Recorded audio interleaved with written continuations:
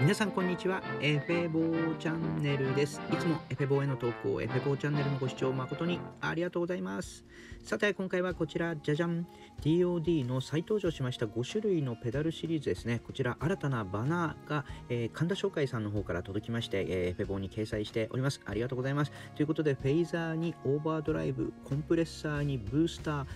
そしてエンベロープフィルターまであるんですね。えー、ということで、トゥルーバイパスでブルー LED ということで、えー、ボードにもね、こう組み込みやすくなったかなというふうに思いますのでね、えー、ツイッターの方でも連日ね、情報アップされているようですのでね、えー、ぜひともフォロワーになっていただきつつ、気になったペダルはですね、楽器店で、えー、試奏していただいてですね、またボードに組み込みましたらね、えー、ぜひともまたお知らせいただきたいと思います。ということで、再登場しました DOD のペダルシリーズ5種類もあるのでね、えー、ぜひとも、えー、注目なさっていただきたいと思います。えー、バナーもクリックしてください。ありがとうございました。